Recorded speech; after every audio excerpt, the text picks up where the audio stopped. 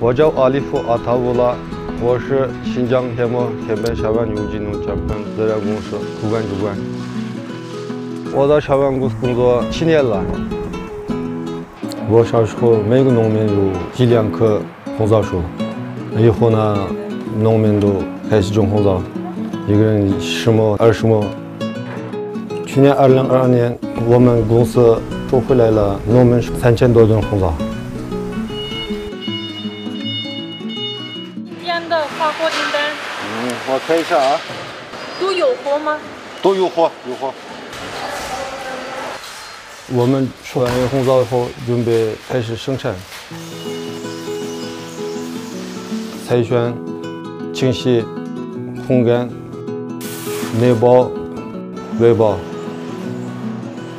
我们品种是特级、超特、一级、二级、三级。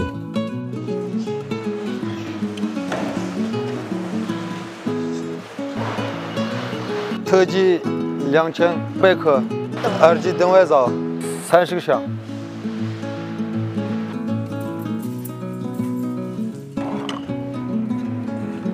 我的工作主要是负责生产完的红枣等级数量分级然后入库。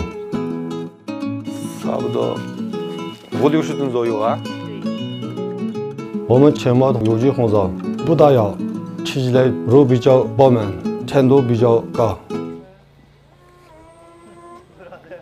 在在正面过来啊我说你给我查多少我查查爸爸说说现在比多少 sonoma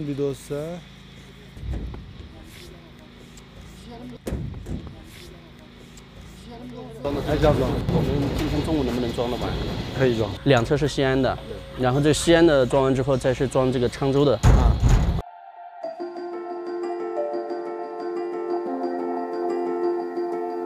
我们订单比较多，发到内地、河北、山西那边发货比较多。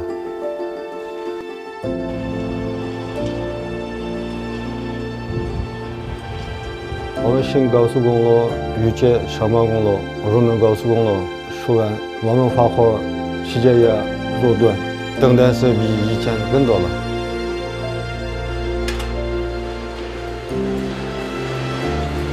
小哥，后天那个陕西发的三十多包，准备好没有？现在生产和工程是在生产，我给他们打电话通知一下。那就提前打电话通知一下，他给我再检查一遍。我们卖红枣也多，这地方上班来的人也多，工资也越来越多。我希望我们这上的红枣能做到更远的地方，让全国、全世界的朋友能尝到我们这上的味道。